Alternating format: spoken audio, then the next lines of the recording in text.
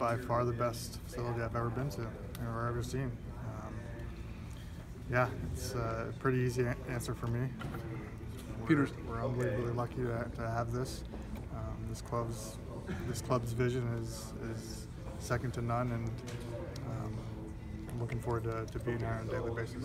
Peter said that uh, you guys had, like you asked for input on ideas on what this facility. Did you have anything that you had some insight or you, con- you contributed to this facility? Did you see the gym? That was, that was awesome. Was that you- I thought maybe it was the barber shop.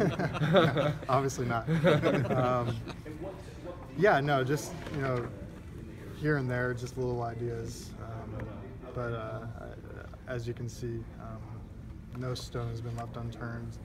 Um, they, they thought of everything. So, um, like I said before, we're, we're extremely lucky to have a, a group to, to put together something like this, and uh, I'm excited to get started.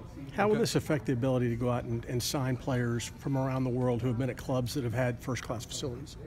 Yeah, I think uh, uh, you know a stadium is great, and we have one of the best out there.